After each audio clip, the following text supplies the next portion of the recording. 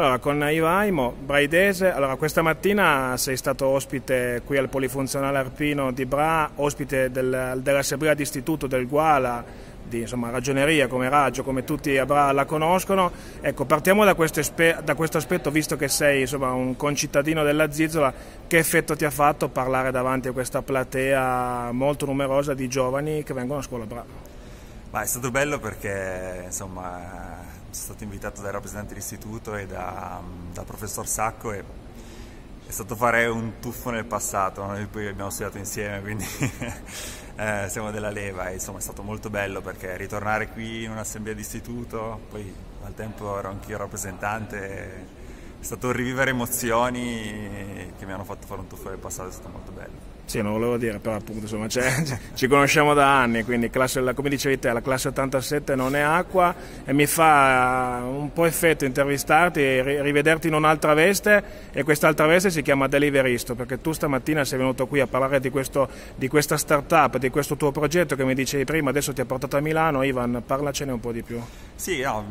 insomma oggi è stato un bel momento perché c'era anche il fondatore di Commenti Memorabili che anche lui ha fatto la sua startup e sta andando alla grande e quindi un po' era raccontare ai ragazzi che cosa vuol dire provare a tuffarsi, a mettersi in proprio e quindi è stata una bella esperienza. Eh, io prima ho lavorato in questo fondo che invece investiva in start-up eh, per 4-5 anni e ne abbiamo viste tante, è stato molto adrenalinico, emozionante, poi però ti viene la voglia di creare la tua, no? adesso poi c'è molto hype nel creare start-up digitali, tecnologiche e quindi ci siamo lanciati un anno e mezzo fa e, con un po' di colleghi, adesso siamo in 12 e mm, insomma è stato duro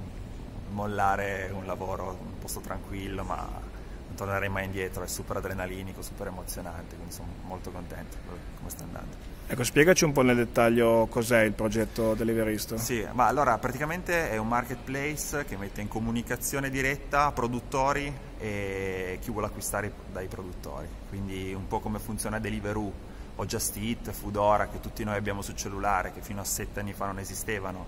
e ad oggi sono esplosi, hanno spaccato in qualunque paese in Europa per ordinare direttamente dai ristoratori. Eh, Deliveristo funziona nel pezzo prima della filiera, quindi eh, per digitalizzare l'acquisto diretto dei produttori. In Italia siamo pieni di eccellenze magnifiche, eh, chi produce la carne di fassona, il,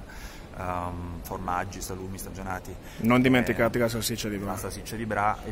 però il problema è che non la puoi acquistare online eh, per i ristoratori, no? quindi la spesa oggi dei ristoratori è totalmente ancora come veniva 70 anni fa, quindi ancora messaggi, chiamate, telefonate ed è molto complicato se vuoi acquistare direttamente dal produttore tagliando fuori tutta la filiera perché hanno dei prodotti di eccellenza ma non sono in grado di digitalizzarsi, promuoversi e quindi questo è quello che facciamo con loro, quindi abbiamo creato il Deliveroo fondamentalmente per eh, permettere l'acquisto diretto dei produttori con un, con un click.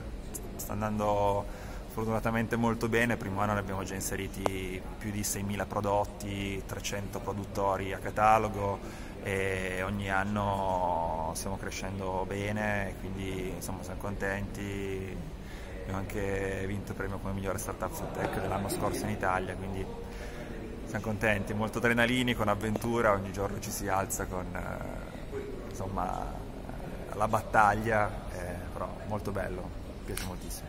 Qual è la curiosità o il messaggio più particolare o, insomma, che ti sei sentito chiedere questa mattina che insomma, ti hanno rivolto i ragazzi? Ma eh, erano tutti molto interessati a sapere un po' come funziona, no? come funziona il lanciarsi, provare come funziona il mondo delle start-up, del venture capital, eh, in cui se ne parla molto, però poi nel concreto è difficile avvicinarsi perché è abbastanza complesso. In Italia ancora pochi lo fanno, mentre oramai in Silicon Valley eh, è stata la fortuna della Silicon Valley, tutto quello che abbiamo oggi nel cellulare, eh, Whatsapp, eh, Instagram Facebook, no? che sono tutti passati da questo processo di venture capital.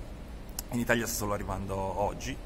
e, però insomma stiamo recuperando, quindi si possono fare le cose buone anche in Italia partendo da